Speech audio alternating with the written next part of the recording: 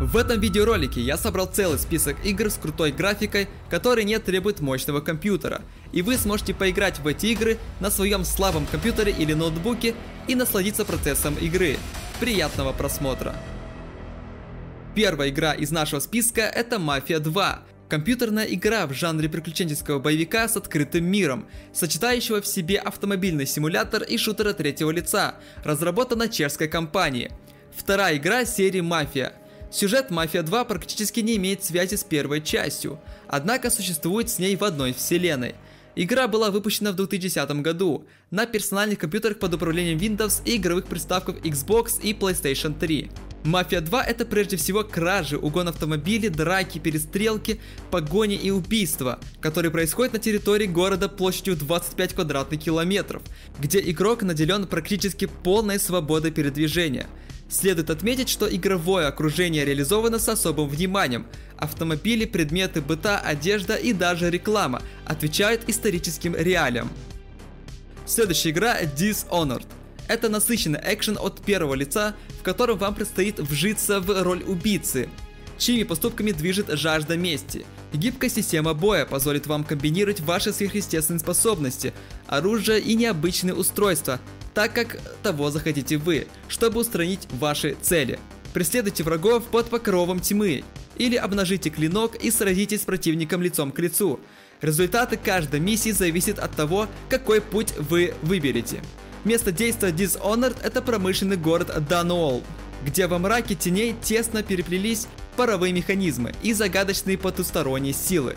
Главные особенности этой игры представлены возможностью импровизировать и находить оригинальные пути решения задачи, сверхъестественными способностями, которыми владеет не только главный герой, но и некоторые противники, и уникальным во всех смыслах этого слова городом. Для того, чтобы комфортно поиграть в Dishonored или любую другую игру, и полностью погрузиться в игровую атмосферу, нужна качественная клавиатура, мышь и, конечно же, наушники. Без этих девайсов ты не сможешь комфортно играть, будто на слабом ПК или на мощном игровом компьютере. Тем более звуки в играх придают атмосферу, а чтобы их хорошо слышать, нужны качественные наушники. К примеру, HyperX Cloud X с динамическими динамиками, которые отлично передают звук, и ты сможешь полностью погрузиться в игру. Плюс есть микрофон с отличным шумоподавлением или же клавиатура Maker SK61 с четырьмя видами расцветки и надежными свечами. Приобрести игровые девайсы ты можешь в проверенном магазине, который называется Sky End Shop. Оформить заказ можно через Discord, либо же группу ВКонтакте. Ссылки я оставлю в описании. Магазин надежный, есть живые отзывы от покупателей, так что о гарантии можете не переживать. Все работает честно, без обмана.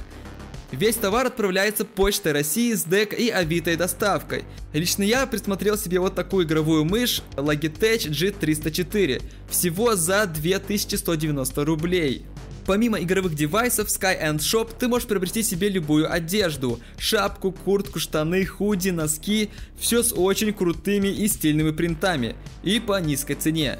Ведь магазин работает напрямую с поставщиками, которые работают над этими производительных фабрик, из-за чего складываются такие цены. В общем, переходи по ссылке в описании и закажи себе любой понравившийся товар. Sky and Shop – магазин одежды и игровых девайсов. Ну а мы переходим к следующей игре.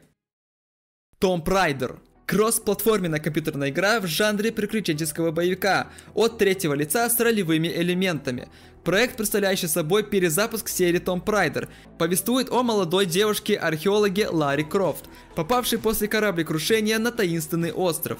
Основная концепция игры состоит в смене эмоционального образа протагонистки, которой необходимо сражаться в условиях дикой природы. Геймплей проекта строится на схватках с врагами, решении головоломок и изучении мира – к основным игровым новшествам относятся появление системы укрытий, побочных квестов и мультиплеер. Корабль, на котором путешествует молоденькая расхитительница гробниц, попадает в мощный шторм. В итоге судно терпит крушение. На утро Лара Крофт очухивается от морской тряски и обнаруживает, что попала на загадочный японский остров, набитый под завязку всякими мистическими существами и руинами. Теперь от нашей юной и неопытной героини требуется лишь одно – выжить любой ценой, на проклятом клочке суши и при удачном сечении обстоятельств выбраться с него. Kingdoms of Amalur Reckoning – однопользовательская ролевая игра. разработана Big Hook Games и 38 Studios, которые также издали игру с Electronic Arts. Это была единственная игра, выпущенная 38 Studios, до того, как они подали заявление о банкротстве. Сюжетная тропа расстилается по открытому фэнтезийному миру, разделенному на 5 регионов, каждый со своим укладом жизни, архитектуры и сопутствующей флорой и фауной. Чисто внешне Амалур напоминает яркую смесь, состоящую из сказочного Альбиона. Среди руин и остатков цивилизации тут всегда можно найти стандартный паёк ролевика – груду монстров, в числе которых тролли, кабальды и огры, и обязательный лут, состоящий как из денег, так и из оружия, брони и прочих необходимых в походах вещей. В игре представлены 5 различных регионов, 4 играбельные расы и 3 дерева классов с 22 способностями на каждое. Выбор расы влияет на внешность и базовые навыки персонажа. Игра использует уникальную систему судьбы, посредством которой игрок, чтобы открывать различные судьбы, может развить дерево умений, являющееся системой классов.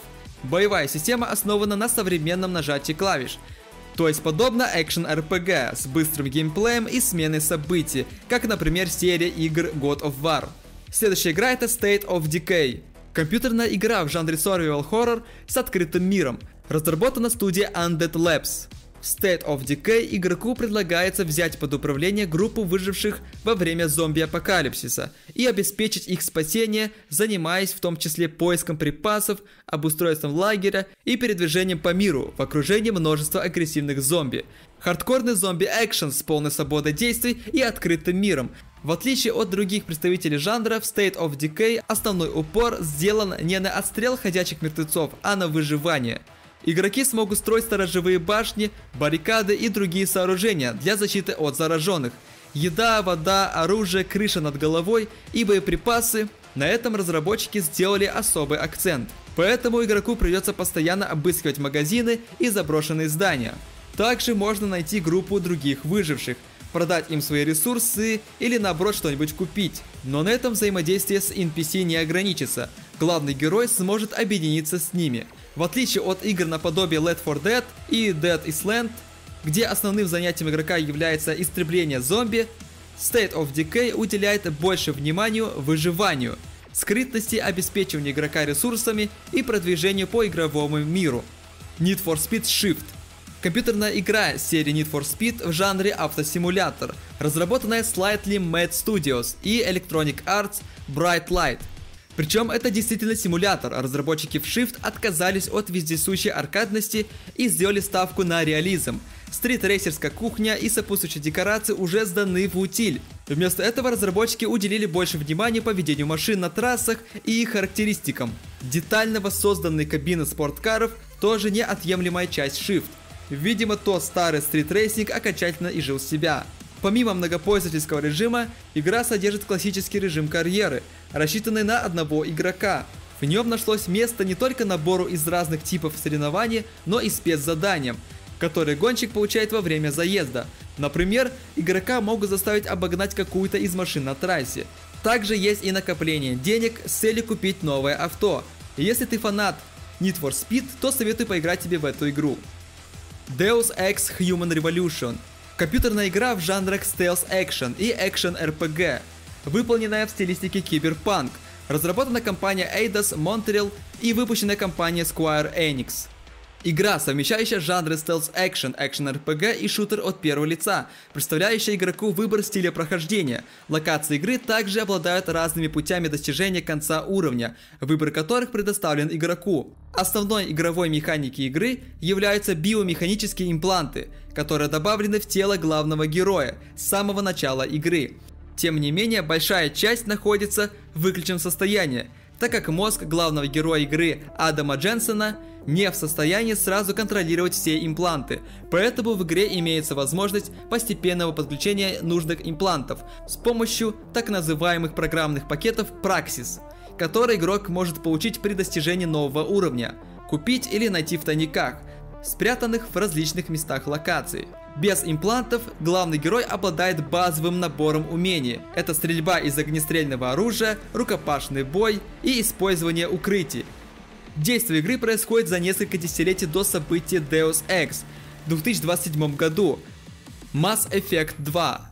Компьютерная игра в жанре ролевого боевика разработана канадской студией и выпущена американской компанией Electronic Arts в январе 2010 года. Это вторая часть серии Mass Effect, являющаяся непосредственным продолжением первой игры. Ее действие происходит в галактике Млечный Путь в 22 веке, когда человечество, осваивая космос, сталкивается с враждебным инопланетным видом, коллекционерами, подконтрольными жнецами. Главным героем является капитан Шепард, опытный офицер космического флота Земли. Игроки имеют возможность перенести сохранение из предыдущей части, влияя таким образом на сюжет игры. Мир Mass Effect условно представлен картой галактики, которая используется для перемещения по миру. XCOM 2 Пошаговая тактическая компьютерная игра, разработанная Firaxis Games и выпущенная в 2016 году. XCOM 2 является продолжением XCOM Enemy Unknown. Если XCOM Enemy Unknown предлагала игроку оборонять планету Земля от только начавшегося вторжения пришельцев, то XCOM 2 показывает мир, в котором пришельцы выиграли войну, и после их победы прошло уже 20 лет. На Земле установлен тоталитарный режим, и возрожденная организация XCOM действует уже как подпольное повстанческое движение, как и в предыдущей игре. Игра получила высокие оценки критики и была номинирована на ряд наград. В 2017 году к игре было выпущено дополнение. И последняя игра из нашего списка это Bioshock 2. Фантастический шутер от первого лица с элементами RPG. Является продолжением Bioshock, разработанная другим подразделением. Игра вышла 9 февраля 2010 года, подводном городе, который называется Восторг, игрок примет роль первого большого папочки, прототипа всех будущих моделей, так называемого объекта Дельта. По сравнению с серийными моделями, Дельта обладает собственной волей и может использовать плазмид и оружие одновременно. В самом начале игры доступно лишь одно оружие – знаменитый Бур, обладающий наибольшим уроном в ближнем бою среди всего арсенала. Ну вот и все, это был топ-10 игр для слабого компьютера или ноутбука с крутой графикой. Я надеюсь, что вы из этого списка нашли для себя игру, в которой хотели бы поиграть на своем слабом ПК. В комментариях можешь написать, какая игра из этого видео тебе понравилась больше всего. Лично меня заинтересовала Мафия 2, я бы в нее точно поиграл. И кстати, на моем канале есть еще одно видео с топ-10 игр для слабых ПК. Если ты еще не смотрел, то кликай по подсказке и смотри. Думаю, ты найдешь себе еще пару игр. Всем спасибо за просмотр, с вами был Симон и всем пока.